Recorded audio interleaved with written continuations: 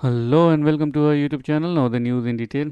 In a damning report, the Comptroller and Auditor General CAG has said Kaleshwaram, touted as the world's biggest multi-stage lift irrigation project on Godavari rivers in Telangana, Bhupalpalli to irrigate about 1 crore acre, is not economically vi- unviable but also cannot generate revenues that will leave a huge energy bill for government. Claiming the benefit cost ratio of the project was grossly inflated, CAG in its report said the actual command area created so far was just 40,888 acres. The 260 page report, which was tabled in the State Assembly on Thursday, also pointed out violation right from seeking project approvals, escalation in cost, acute area, execution of works, and benefits of the project. The much hyped project was inaugurated by then Governor ESL Narasimhan and former CM K. Chandrasekhar Rao on June 21, 2019.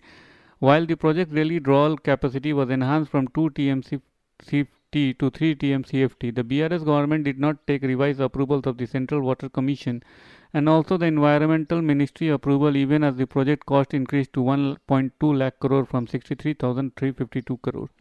That's the end of the story. If you like the content of our video, please do hit the subscribe button, share it with your families and friends, and do not forget to post a suggestion in the comment section below. Thank you. Have a great day. Bye.